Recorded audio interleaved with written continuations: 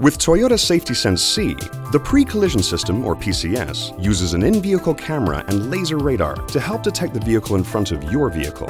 When the pre-collision system determines that the possibility of a frontal collision with the vehicle is high, it prompts the driver to take evasive action and brake by using an audio and visual alert.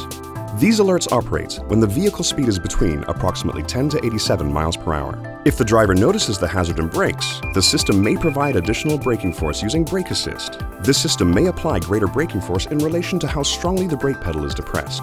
If the driver does not brake in a set time and the system determines that the possibility of a frontal collision with another vehicle is extremely high, the system may automatically apply the brakes, reducing speed in order to help the driver avoid the collision or help reduce the impact.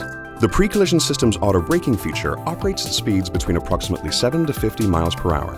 If pre-collision system auto braking occurs and brings the vehicle to a complete stop, the system retains brake pressure for approximately 2 seconds.